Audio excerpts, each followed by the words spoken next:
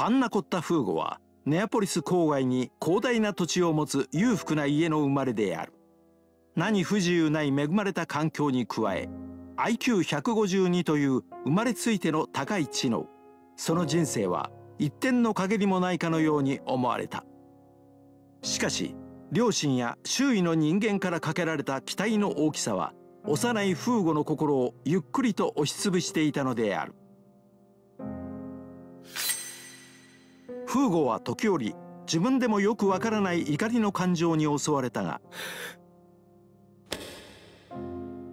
必死にこらえて何とかやり過ごした。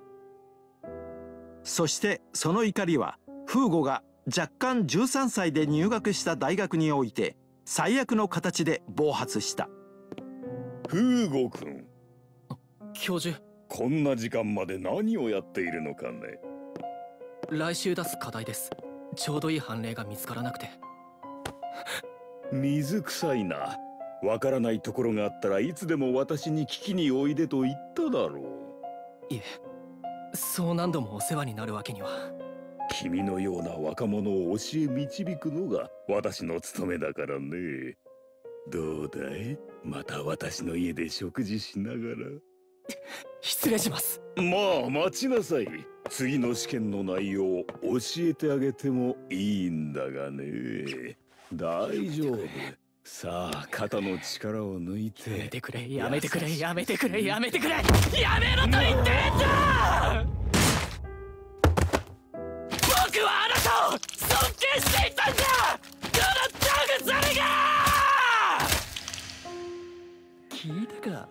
のやつ教授といい仲だったってよ。あいつから誘ったんじゃねえのか。入学試験でも色目使ってたりしてね。両親は金を使ってフーゴを無罪にしたが一方で汚らわしいもののように扱い家から感動した。天涯孤独になったフーゴは万引きやコソ泥で生きるようになった。しかし皮肉にもこれこそが彼の知性を最大限に生かせる生き方だった。てめえこの食い逃げ野郎が牢屋に放り込んでやる。いいえあなたは僕を牢屋に入れることはできない。1982年デッシーカ対アルジェント裁判をご存知ですか？その判例にのっとるなら僕のこの行為は緊急避難として認められる可能性が大いにある。ん？ブチャラティさんこのクソガキに何か言ってやってくださいよ面白いじゃないか。それはちょうどブチャラティが自分のチームを作りたいと考え始めた頃だった。とまあ僕の身の上話はこんなもんです。同情とかはやめてくださいよ。別に不幸だとか思ってませんし。そうか。しかし。うん。これは運命の巡り合わせだと感じる。俺のチームに入らないか。パンナコッタフーゴお前の知性と知識が欲しいブチャラティさんでしたか。